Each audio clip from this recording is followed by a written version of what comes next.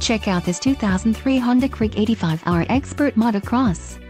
If you are looking for a great motorcycle, this one could be yours today. This bike has an engine size of 84 cc's.